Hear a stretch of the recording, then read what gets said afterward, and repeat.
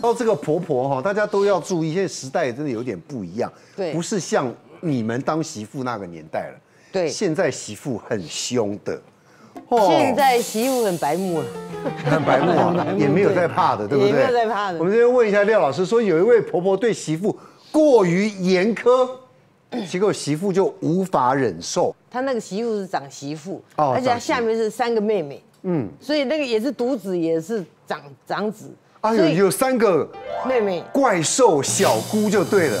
呃，对了，对了，对了，独孤了。那么结婚的时候，这两个人因为一个是男帅，女秀，秀我嗯不是漂亮，而是秀气秀气这样子。嗯，那么呃那个那个女孩子大概有点有点公主病。他们认识以后，就是说，因为那个女孩子就比较她是老大，结果她是三个姐妹里面最晚结婚的。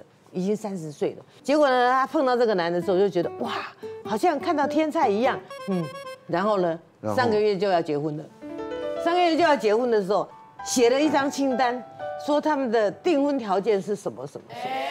虽然说没有给没有要很要很多的聘金，没有要很多的什么，但是咪咪嘎嘎就作业了哈。这这婆婆真的很生气，你是下什么帖子给我，我要照办着。一看，如如啊，看一个就就切齿一次，看着就骂一次这样子啊。但是后来独子嘛哈，切齿一次，看一条切齿一次，嗯啊，这个有打灯你，哎，这个有打灯你，你知道哦吗？啊，然后然后因为他又他嗯他又宠那个那个大儿子嘿，所以大女儿就跟他讲说，啊，看看嘛，无什么。啊，都无偌这钱啦，哈啊，就是比较啰嗦一点，我们就照他的意思好。哦然后订婚那天就亲家才相见了，亲家才相，所以啊不，然后来的时候，对对对，那那个那个姑子就在讲，大姑子就说，哎，长长得还蛮秀气的嘛，那个那个五官都很秀气嘛哈。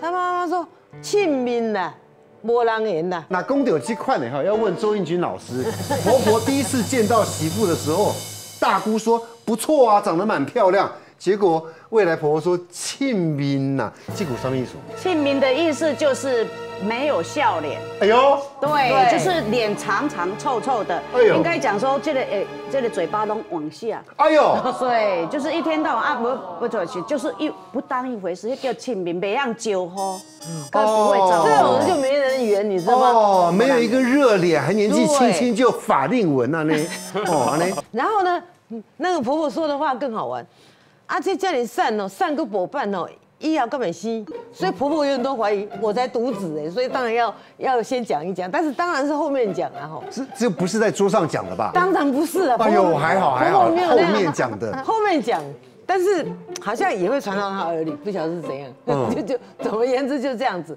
然后呢，儿子要呢他就结了，这个这个女孩子很厉害，她看到看她先生的公司里面有一个很大的套房，她现在都睡在那里，因为先生也觉得舟车劳顿，他自己公司有时候做到很晚，嗯，那太太就灵机一动，就说：“哎、你你们家那个新房那么小，而且你有三个妹妹哈，我觉得公司上洗手间就会要排队了哈，不如我们就就新房就设在这里，又这么大，你就都弄本边嘛哈。丈夫也是一个白目就对了，就说 OK。嗯，住的时候也没有跟妈妈讲，然后最后才跟妈妈通知说，你也没敢中红啊，我没大大公司。嗯，哦，妈妈就觉得你什么都没有跟我讲，我只是被通知做什么做什么做什么这样子。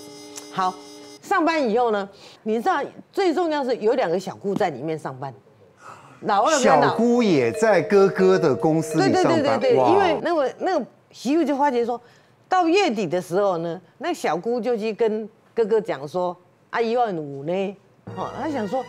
他已经领过薪水，为什么还来跟我要一万五了？要要来跟我先生要一万五，他就走过去，然后那个他现在就跟他讲说，当时创业的时候，妈妈有投资，但是妈投资以后就家用比较缺，所以有我们有协议，我一个月给他一万五，哦，因为我不多嘛，对不对？一万五哪里有多，对不对？嗯然后，然后他站在那边也不走，他就一直看他先生数钱有没有多数一张两张，多偷偷给妹妹。这个媳妇哦，对，然后你要臭到半死。然后那媳那个那个小姑拿到钱就很不高兴嘛，回去就跟妈妈讲，嘿，哎，妈妈就更气，向物件讲，吼，吼，伊这样是被我他个面顶上嘿，我提钱爱去看伊的面色哦。嗯，啊，最重要的是那个这个媳妇也是很小气又白目。有一天，他看到媳妇穿了一件，他去公司找，就就是逛街，顺便逛到他儿子的公司去。哦然后婆婆婆婆哎，对对婆婆，对，然后就看到媳妇穿着一件西装，哈，然后里面穿着一件粉色的那个内搭衣，那时候不是流行那个内搭衣吗？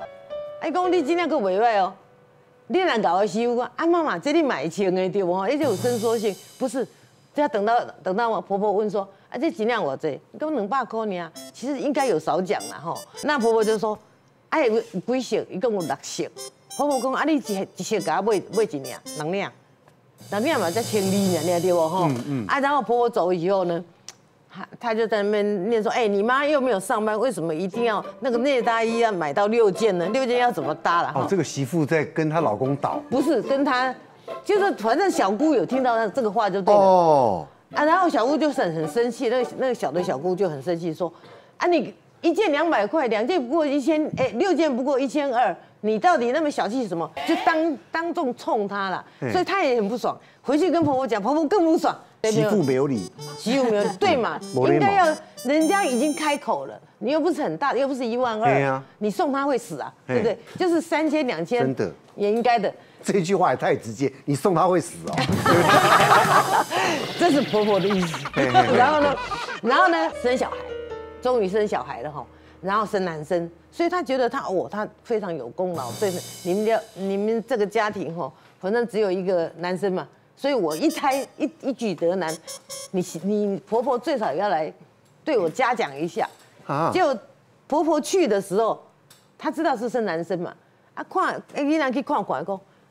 啊哦，查甫的是查甫的啦，生甲遐幼肌骨，以前以后要安怎拍拼的啦。哇，这个，哎 因为呦，幼肌骨是像她妈妈很骨头很细的，哦，那个女孩子幼骨就幼肌骨就很好看嘛，对不对嗯哈？不像我们这粗骨头的。后来的丈夫的丈夫的工作公公司有一点周转不灵了，嗯那就是有些票呢，他代借的，嫂嫂代借的，就是那个这个媳妇代借的，代借的。所以呢，就是说他哥说要召集一个就是说延票的那个小小的会议，把那个债权人找来嘛哈。